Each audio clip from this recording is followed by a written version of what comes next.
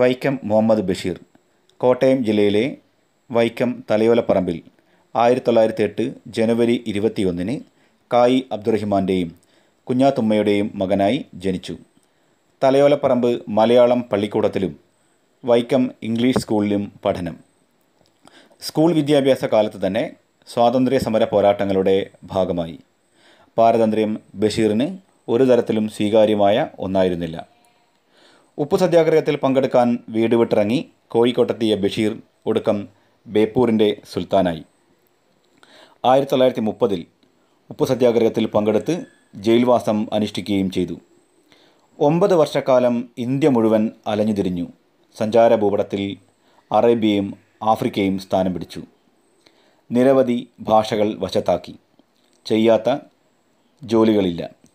എഴുത്തുകാരൻ tuition master ഖലാസി കൈനോട്ടക്കാരൻ കണക്കപ്പിള്ള മരുന്ന് വിൽപ്പനക്കാരൻ ഭീകരവാദി ഗേറ്റ് കീപ്പർ ക്ഷുരകൻ ഹോട്ടൽ തൊഴിലാളി യാചകൻ ട്രാവൽ ഏജന്റ് പാചകക്കാരൻ പത്രവിൽപ്പനക്കാരൻ പത്രാധിപൻ ഗുസ്തിക്കാരന്റെ ശിങ്കിടി സ്പോർട്സ് സാധനങ്ങളുടെ ഏജന്റ് സന്യാസി സൂഫി വര്യൻ അങ്ങനെ ബഷീർ ചെയ്യാത്ത ജോലികളില്ല എന്ന സ്ഥിതിയായി. യാതൊരു തയ്യാറെടുപ്പും നടത്താതെയുള്ള യാത്രകളാണ് ബഷീറിന്റേത്. പത്മനാഭ പയ്യുടെ ജയകേസരിക്ക് വേണ്ടി എഴുതിയ തങ്കമാണ് ആദ്യം പ്രസിദ്ധീകരിച്ച കൃതി.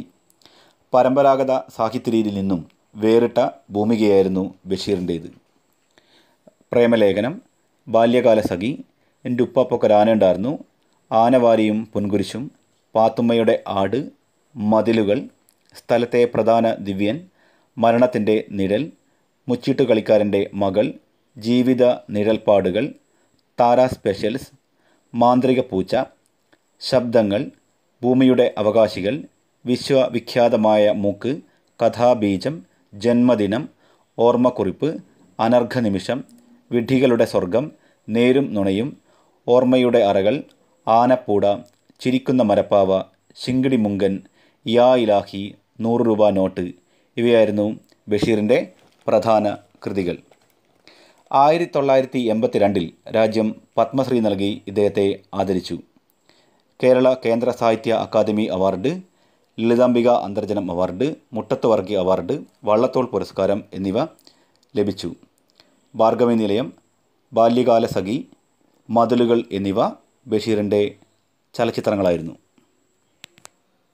ആയിരത്തി തൊള്ളായിരത്തി തൊണ്ണൂറ്റി നാല് ജൂലൈ അഞ്ചിന് ഇദ്ദേഹം ലോകത്തോട് വിട പറഞ്ഞു.